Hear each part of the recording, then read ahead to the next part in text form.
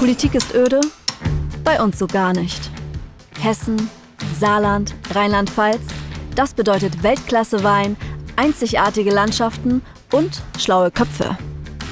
Wir sind Sandra, Oliver, Bettina, Peter, Matthias, Mario, Hermann Otto, Alexander, Manuel, Karina und Till.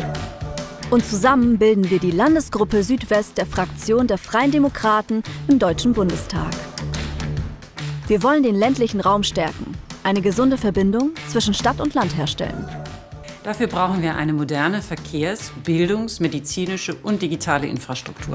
Wir wollen innovative Unternehmen und Hidden Champions voranbringen, damit in Forschung und Entwicklung investiert werden kann. Wir wollen die Zukunft der Mobilität gestalten.